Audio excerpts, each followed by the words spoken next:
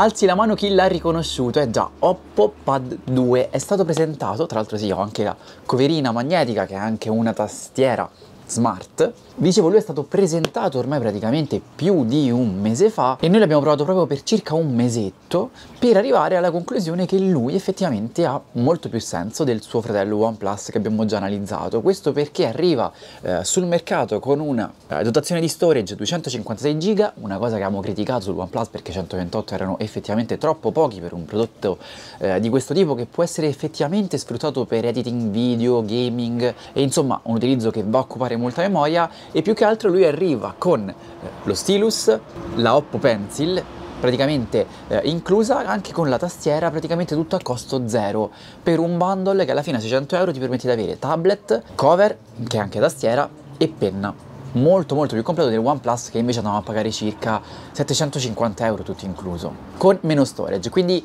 molto interessante andiamo a parlarne brevemente facendo magari un'analisi più approfondita degli accessori a questo giro. Partiamo subito. Eh già perché la tastiera è quella che abbiamo già analizzato fantastica per quanto riguarda eh, le gesture eh, lo scorrimento. Guardate che carine no? tutte le varie animazioni anche quando passiamo con il trackpad sulle varie applicazioni. Posso fare delle gesture per chiudere la cartella faccio con due dita per aprire il drawer, scorrere, insomma è tutto gestito molto bene e tra l'altro anche quando poi andiamo a scrivere la tastiera non è assolutamente male come feedback tattile è una tastiera molto semplice che mh, mm, io l'unica cosa che posso criticare è che ha un costo di 150 euro, mi aspettavo un minimo, minimo, minimo di retroilluminazione, anche perché quando effettivamente si fa buio il display non illumina molto la tastiera e quindi andiamo a scrivere un po' a caso. Anche la corsa non è così male, insomma è una tastiera che ti dà un feedback effettivo quando vai a scrivere, per il resto quando non andiamo a utilizzare la tastiera possiamo sfruttarla eh, come stand, vedete questo è l'angolo Mm, che sia perfetto proprio per andare a vedere direttamente eh, il display ed eliminare la maggior parte dei riflessi perché sì, già lo vedrete, c'è qualche riflesso di troppo su questo display che va a minare poi eh, l'effettiva qualità di visualizzazione.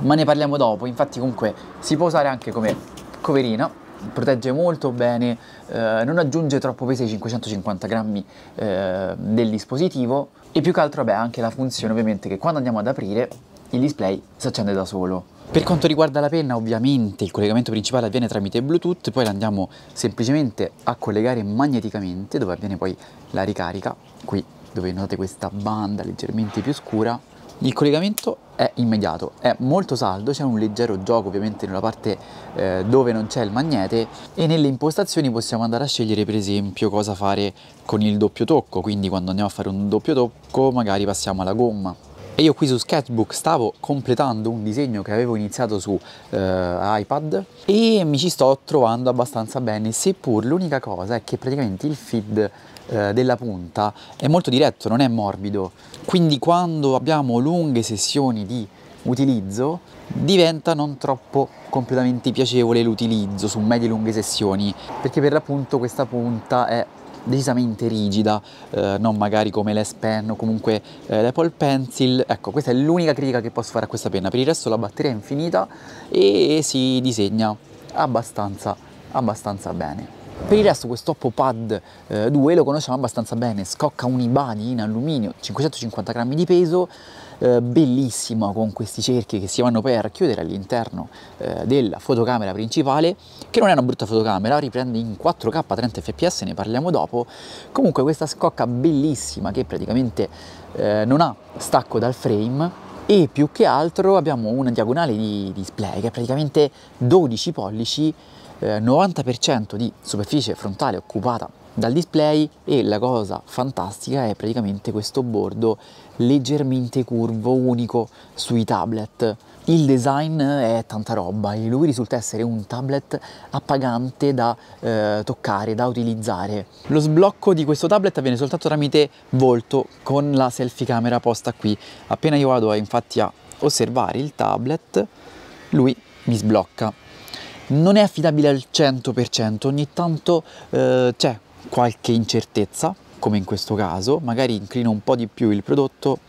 magari mi avvicino un po' di più e funziona, quindi ecco, eh, secondo me un sensore di impronte integrato magari all'interno del tasto d'accensione sarebbe stato il top del top. Anche perché per il resto, una volta sbloccato, ci troviamo davanti questo display che non è assolutamente niente male, ok? È vero, un IPS, refresh rate 144 Hz, eh, una risoluzione particolare perché abbiamo questo formato ovviamente 7 quinti, è molto più squadrato di un classico tablet, formato ottimo se magari andiamo a dividere in due il display perché abbiamo effettivamente molto più spazio eh, per andare ad effettuare operazioni di questo tipo, mentre quando magari andiamo a vedere qualche contenuto multimediale che può essere per esempio su Netflix, mettiamo qualcosa a caso. In questo caso si hanno dei bordini ovviamente più evidenti perché il formato eh, è più squadrato, ci sta, però basta fare uno zoomino, problema risolto. Seppure il tablet supporti l'HDR10, l'HVC e il Dolby Vision, in applicazioni eh, come Netflix, Prime Video, eh, non c'è ancora questo supporto, su YouTube invece c'è il supporto all'HDR, Disney Plus fa un po' discorso a sé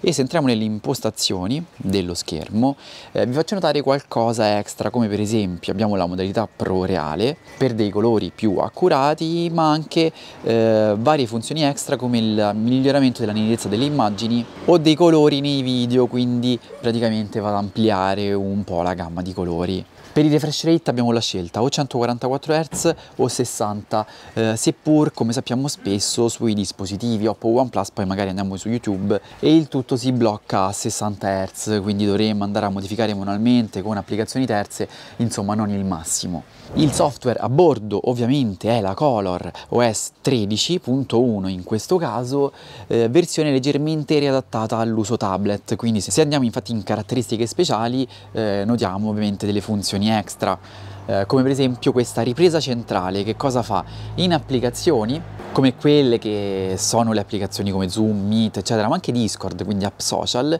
eh, la fotocamera ultra wide frontale si adatta al nostro volto, segue i movimenti del nostro corpo abbiamo comunque anche la possibilità di scegliere alcune applicazioni come Instagram che hanno un formato eh, particolare eh, se vederla a tutto schermo o magari soltanto una parte in modo da non avere eh, distorsioni. Ovviamente abbiamo le doppie finestre, abbiamo la cartella laterale, questa barra laterale eh, dove per esempio magari eh, vado ad aprire un'applicazione, ecco lì che abbiamo la nostra eh, finestrina molto comoda, si può spostare, possiamo ingrandirla a tutto schermo, tutto funziona molto bene e questa funzione è anche ottimizzata eh, nei giochi, vedete in questo caso avevo ridimensionato un Star Rail e il gioco continuava ad andare eccezionale. Considerando che questo è il secondo tablet di Oppo, assolutamente non male avere un software già così ottimizzato e che praticamente si aggiorna ogni due mesi. Mi aspetto però che venga aggiunto quel supporto che vi dicevo prima, l'HDR eccetera eccetera, insomma sarebbe una cosa gradita anche al Dolby Vision. Infatti, collegandoci proprio al Dolby, qui abbiamo anche quattro speaker, due su ogni lato eh, verticale, due di qui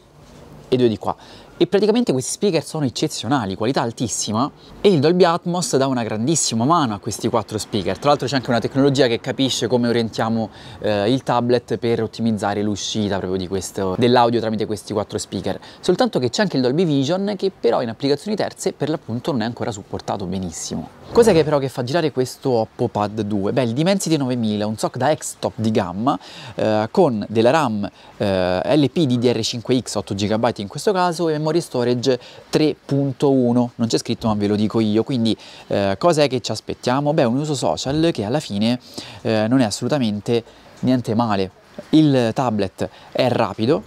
anche le animazioni, apertura chiusura, apertura chiusura, è tutto molto rapido anche lo swap tramite altre applicazioni, insomma apriamo per esempio un'app di news calcistiche, il tempo di apertura è abbastanza rapido, anche eh, come si scorre poi all'interno dell'applicazione, magari andiamo ad aprire anche una news, tutto funziona molto bene. Si riesce a videogiocare a qualcosa come un Star Rail, quindi un titolo abbastanza impegnativo graficamente, eh, come potete notare, abbastanza bene. Ovviamente non abbiamo una grafica da top, top, top eh, tablet, come può essere un S9 Ultra, eh, però comunque si difende abbastanza bene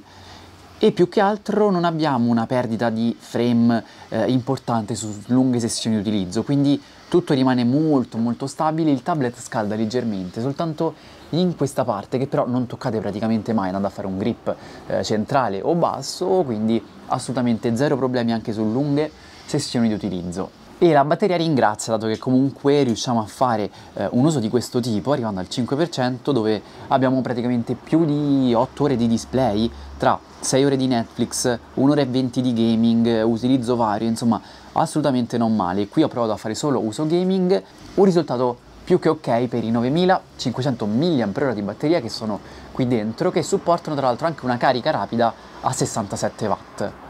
E parlando di fotocamere, beh, la selfie camera è quella che soffre un po' di più, seppur ci sia questa modalità eh, selfie che praticamente va a creare uno sfocato. Ma anche nei video in realtà possiamo andare ad avere uno sfocato, quindi un software comunque completo e anche ben fatto, ma sicuramente il top è la fotocamera posteriore eh, che eleva la qualità video fino a 4K, eh, abbiamo anche l'autofocus in quel caso la qualità è decisamente eh, migliore. Insomma un tablet completo che più che altro, allora 599 euro di base non sono pochissimi per un tablet Android, in questo caso la scheda tecnica c'è, effettivamente è un tablet completo, ma secondo me ha senso se preso eh, con tutti gli accessori come la penna per l'appunto, che di base 100 euro per questa pencil secondo me sono troppi come sono troppi 150 euro per una tastiera, ok smart, cover eccetera, che però non è